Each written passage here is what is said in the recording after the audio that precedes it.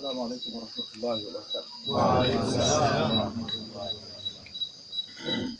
الحمد لله والصلاة والسلام على رسول الله وعلى آله وأصحابه ومن والاه وبعد Uh, awali ya yote tunamshukuru Allah subhanahu wa ta'ala kwa fadhila zake na neema zake kutukusanya katika hadhara tukufu, hadhara Bwana Mtume Muhammad.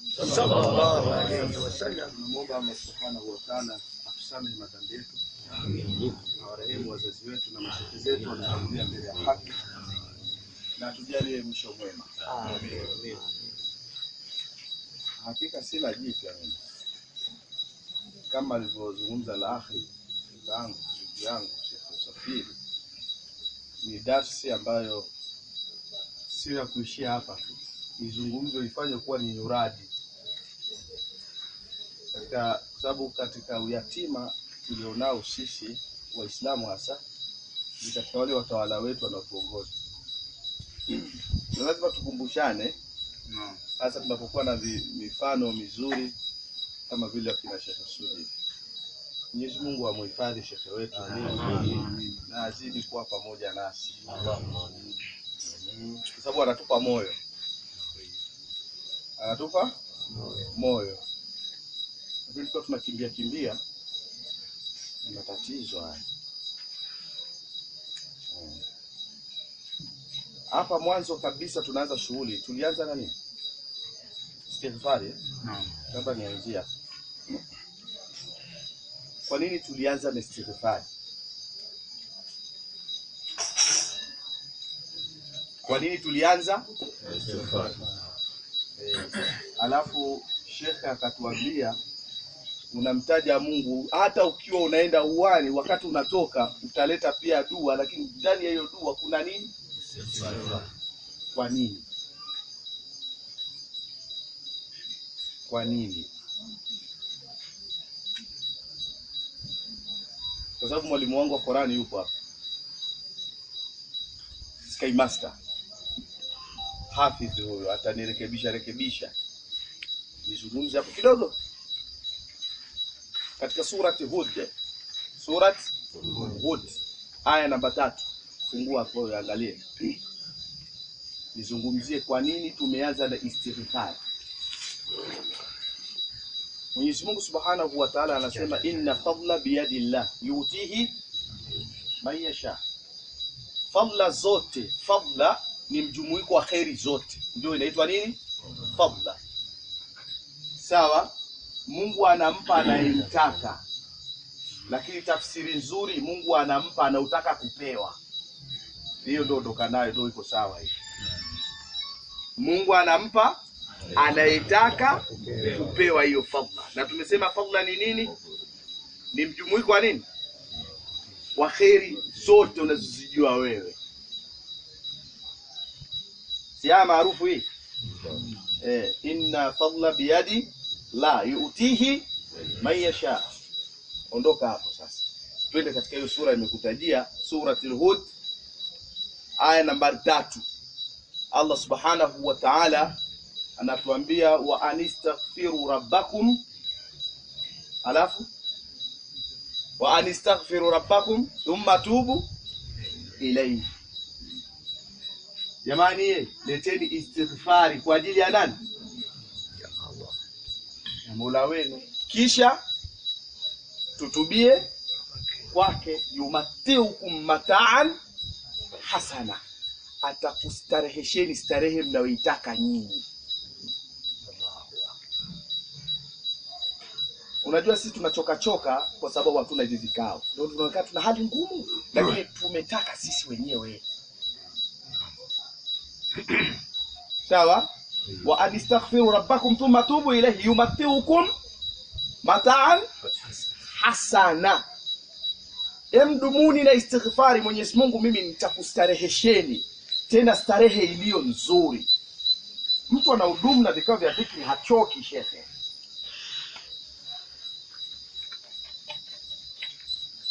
Alafu endelea hiyo aya, wayuti kulla dhi fadli fadlahu, na Mola atampa kila anachokihitaji mwenye kutaka katika zile fadla za Mungu. Tumesema inna fadla biyadi la yutihi.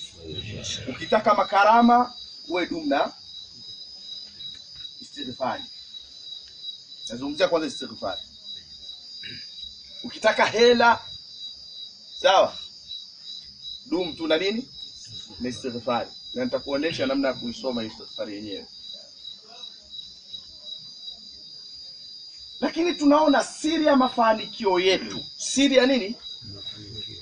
yumatiukum mataan hasana, ili sisi tupate kuishi maisha yaliyo safi na bora kabisa. Tushike nini? Istighfar. Sawa? Naam. tuko pamoja? Naam. Kwa hiyo silaha ya sisi kufanikiwa, tushike nini? Tutaishi maisha mazuri duniani na maisha mazuri akhera. Kwa mwenye kutaka kuuliza, ndio maana tulianza na istighfari, kwa sababu tunataka maisha mazuri duniani na akhera. Kwa ukitaka dalili hiyo hapo. Baada hapo tuli- tuliingia kwenye Tahlil. tahalili, si ndio? Shekhe alikuwa ameshamaliza. Sheikh Sudi alizungumzia dhkurullah dhikran kathira. Sawa. Katika surati al-Anfal 32 mpaka 33. Emrudi tu tupakague hapa vizuri katika surati Hud 32 33 Anfal.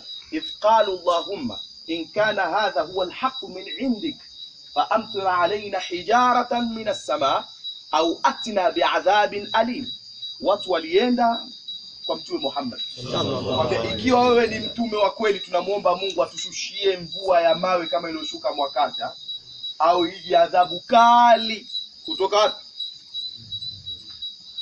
tizama Mwenyezi Mungu jibu akatoa hapa ma kana Allahu liyuadhibahum wa anta fihim Mwenyezi Mungu hakuwa ni mwenye kushusha adhabu kwa ninyi ikiwa mtume yuko pamoja na nyinyi. Yaani Mwenyezi Mungu anazuia adhabu kwa sababu watu wako pamoja na mtume, na ni makafiri hapo. Sallu ala nabi. Unategemea utaenda motoni midhali unahudhuria una katika vikao kama hivi? Kwa sababu sisi tumeambiwa na Qur'an, wa'lam anna fikum tambueni kwamba katika nyoyo zenu yumo mtume. Sasa umemweka mtume kwenye moyo wako mswalieni mtume. Ah. Allahumma salli wa sallim alayhi ma kana allah liyuadhibahum wa anta fi. na hii khitabu ilikuwa inawalenga makafiri waliomba adhabu. Lakini mungu anasema mungu hawezi kuwaadhibu hao makafiri hao. Japo wanaitaka adhabu kwa sababu wao wanaishi pamoja na wewe mtume. Ondoa hii khitabu kwa ambao ni makafiri. Sisi ambao tunamkusanyikia wewe mtume unafikiri utaadhibiwa wakati unaleta salatu ala nabii Allahumma salli wa sallim lakini Mwenyezi Mungu alipotaja hapo, endelea katika hiyo hiyo 33 sasa, wama kana Allahu liyuadhibahum wa hum yastaghfirun, na Mola hawezi kuwaadhibu watu ikiwa wao wanaendelea kuleta istighfari. Qurani ini nini? Qurani. Silaha mbili, huwezi kuadhibiwa kwa sababu unadumu na mtume, na hawezi kupata adhabu aliyakuwa wewe unadumu na istighfari. Hivi siku kwa siku tunafanya istighfari mara ngapi kwanza? Tukiamka asubuhi. Au ni kutafuta mpunga tu. Yaani huo mpunga utafutiki vizuri na ukaeleweka mpaka uamke kwanza na istighfari na swala ya mtume. Sadaqta, sadaqta. Ukitaka ufanikiwe katika maisha haya, mtangulize mtume mbele, Sallallahu alayhi wasallam. weka istighfar Vitu vile surati al-Anfal nimesema 32 mpaka 30 ngapi? 33. Inatufanulia kule katika surati al-Hud. Wanistaghfiru rabbakum thumma tubu ilayhi yubatiukum mataa hasana wa yuti dhi fadli fadlahu. Watakaomshika mtume na istighfari hawatodhalilika katika maisha haya. Kwa nini sisi tunachoka? Kwa nini sisi tunadhalilika? Tumeacha vikao hivi ambavyo Sheikh Msafiri hapa punde amezungumza. Vikao kama hivi vikija katika miji yetu, sio vya kupiga vita tena hivi ni vya kuunga nini mkono kwa sababu vinakuja kuleta rahma na kuondoa adhabu si ndio Qurani imesema hivyo? Maana kama ni hadithi utaweza kusema labda ni dhaifu. Labda sijui ni vitu gani. Hii ni Qurani. Watu wanapomhudhurisha mtume adhabu inaondoka. Mungu hawezi kuadhibu. Tuko pamoja eh? Naam. tudumu na istighfar. Tudumu na swala ya mtume Muhammad katika surati Zumar ishirini na mbili mpaka ishirini na tatu Mwenyezi Mungu Subhanahu wa Ta'ala anasema afaman sharaha Allahu sadrahu lilislam fahuwa ala nuri min rabbi fawailu lilkasiyati qulubuhum fawailu lilkasiyati qulubuhum dhikrillah. Yule ambaye anataka afungue kifua chake kwa nuru ya Uislamu. Sawa? Ama yule ambaye aliofungua kifua chake kwa nuru ya nini? Ya Uislamu. Kwa maana baada nuru hapa ni nini? Ni ile la ilaha illallah, ndio mistahu ya kukufungulia kifua chako. Lakini hapa kifua kimechotajwa hapa si kwa maana ya kifua hichi. Ukitaka kufungua pazia na asrari za nuru ya Uislamu uwe ni mtu mwenye makarama dum na la ilaha illa Allah fawailu lilkasiyati qulubuhum min dhikrillah. Ole wao wale wataokuwa mbali na dhikri ya Mwenyezi Mungu ambao ni la ilaha Mwenyezi Mungu amesema ulaika fi dhalali mubin. Au wamepotea. Ambao yuko mbali mtu na la ilaha ambao tulikuwa tunahimizwa hapa na MC wetu tudumu na la ilaha illa Allah yenyewe ndio ende kufungua nuru ya Uislamu na mtume asema jadidu imanakum bila ilaha illa Allah zifanyeni upya imani zenu kila wakati kwa kusema la ilaha illallah. Kwa sababu ya nini? Fahuwa ala nuri min rabbi. Ile inakujalia unakuwa na nini? Na nuru. Ili, uwe na nuru udumu na nini? Tunamwomba Mungu atujalie tudumu na la Allahu nazzala ahsana alhadithi kitaban mutashabbiha mathani, inaendelea hivi takshairu minhu aljuludu alladhina yakhshawna rabbahum thumma talinu juluduhum wa qulubuhum ila dhikrillah. Mwenyezi Mungu katutumia kitabu ambacho kinajirudia rudia sifa zake. Ndani ya Qur'ani kuna asmaul husna, ndani ya Qur'ani kuna majina mbalimbali ya Mwenyezi Mungu subhanahu wa ta'ala sasa mwenye kudumu na kumtaja Mwenyezi Mungu katika kitabu chake, swala ya mtume ipo kwenye Qur'ani, sivyo? Dhikri zote tumezozifanya hapa, kama ni kutaja aulia, yote ndani ya Qur'ani, zote ni nini? Ni dhikri. Thumma talinu juluduhum wa qulubuhum ila dhikrillah. Mwenyezi Mungu anasema ana, analainisha nyoyo zao na miili yao kwa ajili ya kumtaja nani? Na mimi naweka akiba kama alivyosema Sheikh Msafiri.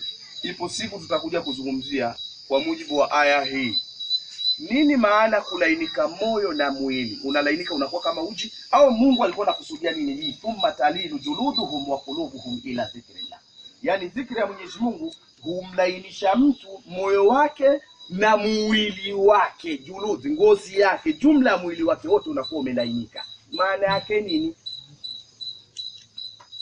Faida ya dhikr tutakuja kuzungumzia.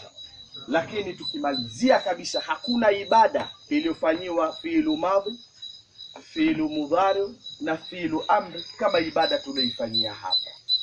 Allahu akbar. katika ibada iliyobeba madhi na mudhari na amri ni ibada tuliifanya hapa ndani ya Qur'an. Sawa katika Qur'ani utakuta neno Mwenyezi Mungu Subhanahu wa Ta'ala kuna sura anasema sabaha lillahi ma fi samawati wa ma fil ardh sabaha.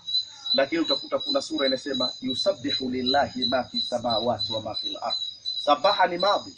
Yusabbihu ni mudhari. Lakini utakuta imekuja kwa amri sabbih isma rabbikal a'la hii ni filul amri. Kuonesha muda uliopita na muda ulio ulio sasa na muda. Yani hivyo muda wote wewe dumu na vikao kama hivi